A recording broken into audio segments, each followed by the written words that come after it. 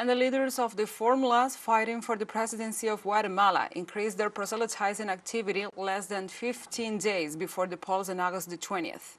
While they wait the decisions of the judicial bodies, Bernardo Arevalo, the candidate of the Semilla movement, and Sandra Torres, candidate of the National Unity for Hope, are running their campaigns throughout the nation. There, they have tried to convince this weekend millions of citizens overwhelmed by the serious crisis the country is going through.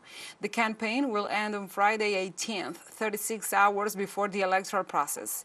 In the department of Escuintla, in the central south of the country, Arevalo promised to fight corruption.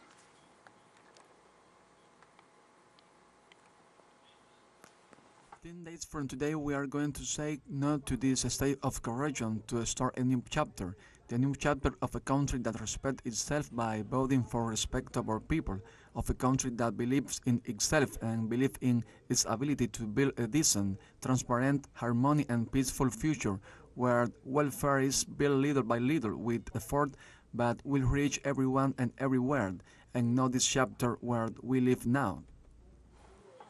For her part, Sandra Torres, candidate of the National Union for Hope, called in the metropolitan area of the Department of Guatemala to go to the polls on August 20th as the only way to guarantee social peace.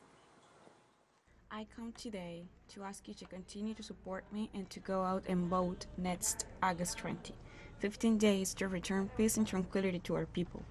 Today, as a political party, we have left aside the political antennas and the color of our parties to work for you to achieve unity for our country and to achieve tranquility and social peace that we all want and dream of.